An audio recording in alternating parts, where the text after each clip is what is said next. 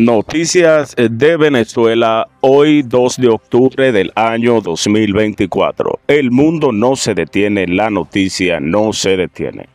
El canciller de Colombia sobre el proceso electoral en Venezuela. El presidente Gustavo Petro ha sido muy claro.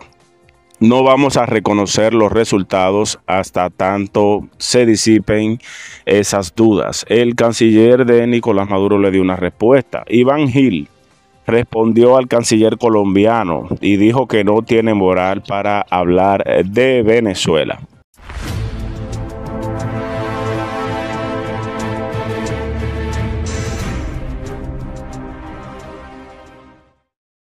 Hola, ¿cómo están? Gracias por visitar nuestro canal. Antes de iniciar con las noticias, te pedimos que nos ayudes con tu suscripción y actives la campanita para que te enteres al momento cuando subamos un nuevo video. Deja tus comentarios, comparte y dale like. Es de mucha ayuda para nosotros. Juan Pablo Guanipa le pidió a Lula y a Gustavo Petro hacer más. No basta con no reconocer a Nicolás Maduro. Señores, por ahí va la situación del caso eh, Venezuela. Y todos sabemos por el fraude, el hurto, eh, este robo de las elecciones en el cual eh, resultó ganador Mundo González Urrutia. Nos gustaría saber desde dónde nos ven y cómo se escucha, señores, eh, este video, este audio y también para saber el alcance, porque de verdad que agradecemos a todos los que siempre nos escuchan, comparten, dan like. Esto es de mucha ayuda para nosotros. El canciller colombiano Luis Gilberto Murillo reiteró que su país no reconocerá la victoria de Nicolás Maduro en las elecciones venezolanas hasta disipar cualquier duda sobre la legitimidad, legalidad de los resultados de los comicios celebrados el pasado 28 de julio.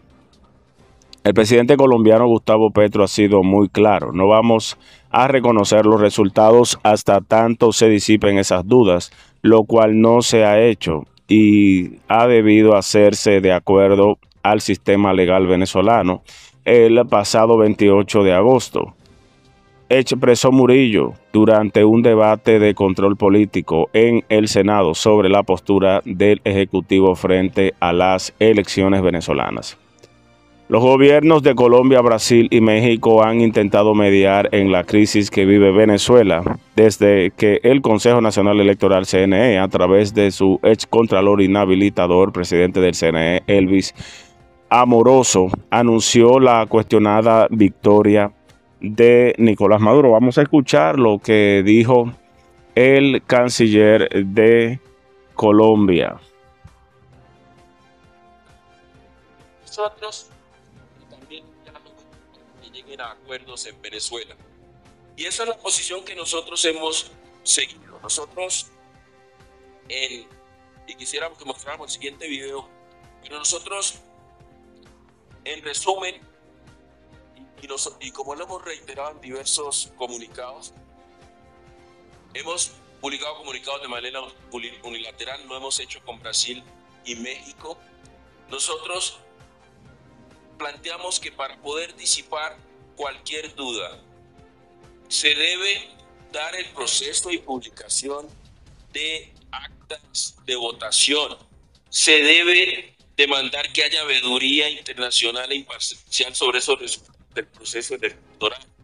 El gobierno colombiano respeta obviamente el principio de la soberanía y la independencia de los estados y nosotros vamos a seguir trabajando y es algo que tienen que resolver venezolanos y venezolanas, pero hay dudas, serias dudas de legitimidad y legalidad que se tienen que disipar y eso solo se hace a través de lo que viene exigiendo Colombia bien, nosotros, el presidente Petro ha sido muy claro, no vamos a reconocer los resultados se disipen esas dudas, lo cual no se ha hecho, ha debido hacerse de acuerdo el sistema legal venezolano el pasado 28 de agosto. Ahí está.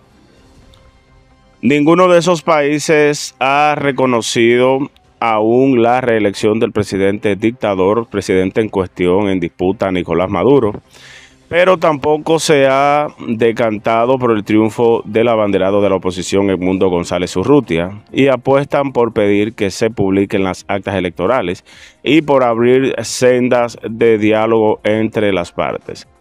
En ese sentido, Murillo aseguró que Colombia plantea que para poder disipar cualquier duda, se debe dar el proceso de publicación de actas de votación, se debe demandar que haya veeduría internacional imparcial sobre los resultados del proceso electoral. Sobre el gobierno colombiano respecto al principio de soberanía e independencia de los estados. Esto enfureció al canciller del régimen de Nicolás Maduro, a Iván Gil. El régimen de Venezuela expresó que el canciller de Colombia, Luis Gilberto Murillo, no tiene moral para hablar sobre el país caribeño, luego de que éste reiterara que su nación no reconocerá la victoria de Nicolás Maduro en los comicios del pasado 28 de julio, hasta disipar cualquier duda sobre la legitimidad de los resultados electorales. Canciller Murillo, ni usted ni ninguna institución colombiana tienen el derecho y mucho menos la moral para hablar de Venezuela. No es un asunto que le incumba, definitivamente no es su problema, dijo en Telegram el ministro de Relaciones Exteriores del régimen de Nicolás Maduro, Iván Gil. Iván Gil, señores, le respondió muy enojado a, la, el canciller eh, de Colombia. En ese sentido, instó al cese de injerencias groseras y de buscar titulares que solo disfruta la derecha paramilitar y fascista. En otro ámbito, pero señores, Juan Pablo Guanipa hizo un llamado contundente al presidente Gustavo Petro y al de Brasil Luis Ignacio Lula da Silva en cuanto a Petro, presidente de Colombia, vemos a una especie de veleidades. Va para allá, viene para acá, un besito para esto, un besito para el otro. No vemos una posición firme, declaró Juan Pablo Guanipa.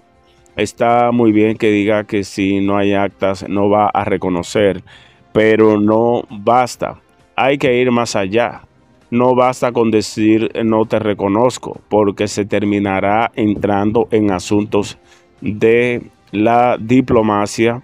Ese tipo de cosas no nos llevan a los que queremos ni a los que aspiramos, que es claramente que se respete el resultado del 28 de julio. Ese día hubo un resultado que hemos demostrado que se evidencia con colocar la cédula en una página web si está tan claro el triunfo de Edmundo González. Tenemos el deseo, la esperanza, la voluntad de que sea respetado y seguramente el 10 de enero.